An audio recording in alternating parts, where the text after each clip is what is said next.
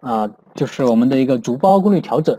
那逐包功率调整啊，刚才有一个进行一个简单的一个介绍，就是根据我们不同的位置进行一个不同功率的调整啊，大家可以看一下逐包功率调整的作用啊，就是减少我们 AP 的能耗和辐射啊，减少我们 AP 发生报纹对周边设备的干扰啊，这个功率其实也是比较明显的啊，满载 AP 差不多十五十五十五兆左右。呃，十五兆左右，然后你低载的话，十兆、九兆、八兆也都有。你去查看一个 AP 的一个功率的话，你会发现啊，不同 AP 根据负载的情况不同，它的能耗也是不同的。啊，这个功能开启的话，还是有利于我们节省一些能源的，以及减少我们的一个啊信信道干扰啊。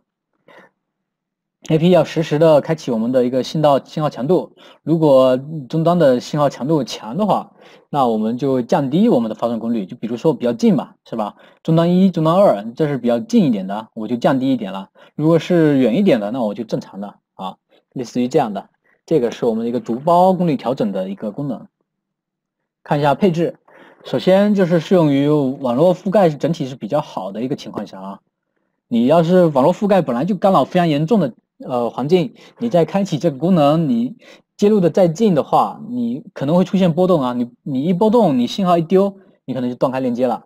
这个地方也是要注意的啊，不是说随便开启，你要保证，比如说这个网络好，我没有其他的很大的干扰。你要在商场，我就不建议你开启了，商场就非常严重了。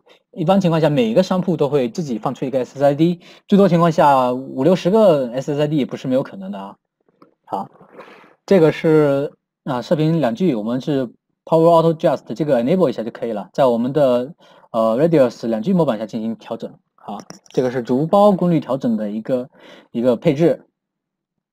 下面就是一些简单的思考题，大家可以看一下。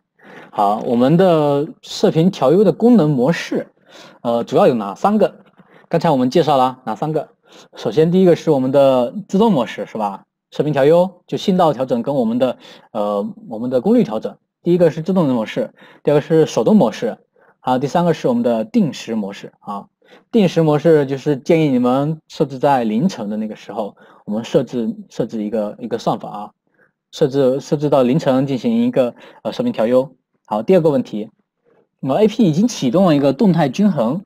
然后我们一个终端发起 AP 关联请求的时候，要说法正确的是啊，这边有一个选项，可能刚才没有讲哈，大家可以看一下，如果超超出门限值哈，超出门限值，我们会呃，比如说我们两刚才介绍的两两个 AP 是吧？我们一个 A 终端在这边，然后我们这边终端 AP 一是会拒绝我们到这个 AP 的接入的，因为我这边负载比较大，对吧？我会。拒绝你这个终端的接入，让你接入另一个终端，另一个 AP，那你这个终端接入另一个 AP。那如果你一直发送请求的话，一直发送请求，我只是想接入到 AP 一，最后我们还是我们有个门限值啊，失败多少次之后，如果他还发起这个请求啊，这个是始终不渝的发起这个请求，想接入这个 AP，我们还是会允许这个终端接入的。这个刚才没有讲到啊，大家可以注意一下，这个是负载均衡的一个一个算法的一个配置啊。呃，基本情况下，首先我们看一下 A 吧，AP 直接根据负载均衡算法，这个是不对的啊。我们不会是马上就开始运行负载均衡算法，我们肯定会有个门限值，对吧？好，第二个是，如果这个终端支持五 G，则优先接入啊，跟负载均衡是没有关系的啊。我们五 G 是我们的频谱频谱调优功能里面的，频谱导航里面的功能的。那 C 没有超出门限值。好，我们超出门限值，再开始用我们的负载均衡，C 就是对的啊。那 D 刚才介绍了啊，这个也是对的。这个就是我们一个全体的一个呃射频资源管理的一个课程啊，大家可以看一下。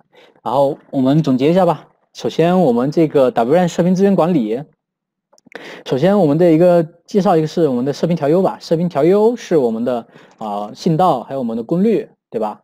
我们的负载均衡，我们分为静态、静态负载均衡跟动态负载均衡。静态负载均衡要手动创建均衡组，然后最多是支持十六个 AP。好，动态的话是智能的进行一个调整，把我们的接入的，把所有呃接收到终端发入信息的 AP 发到一个组，然后进行一个调整。啊，这是一个静动态的不同。啊，频谱导航这个就是五 G 优先跟两 G 优先。好。那用户的接入控制，这我们有三个不同的接入控制，啊，一个是我们的宽带利用率啊，信道利用率，第二个是我们的一个用户接入数，第三是我们的一个信噪比啊。那第四、第四、第这个第五个就是我们的一个信道切换业务不中断。好，这个这个模型也是可以选择性的，默认也是可以开启的。好，第六个就是我们的逐包功率调整。逐包功率调整就是为了节省一些我们的 AP 的功率以及我们一些呃我们的对我们的信道的干扰吧。我们你你信号开的很强，肯定会对一些网络进行干扰。但注意的是啊，信道逐包调整以及我们的用户 CAC 这整个我们的射频调优目的要清楚，我们是为了提高我们的用户用户体验。整基于整个 WAN 网络来说，我们要提高整个用户体验。如果你连用户接入都无法保障的话，你这已经没有实现提高用户的用户体验了。一定要注意，这种调整不会导致用户无法接入我们的 WAN 网络啊。要权衡一下整个网络的一个接入数。负载均衡啊，射频调优啊，都要基于整个网络来来看的啊，不是随便都可以调整的。好，那这个就是我们的一个课程，那后面这个也是我们的网站，大家应该非常熟悉了。我们 support 网站可以看到所有的一个，我们后续的这个视频也会上传到我们的 e-learning 的一个网站上面，然后这个胶片这所有的信息课课件信息大家可以下载到的，大家都不用担心，都是可以下载到的。好，那这个就是。我们的课程今天的课程就结束了。接下来我介绍一下，呃，我们接下来五十天的一个 NP 的一个赋能情况。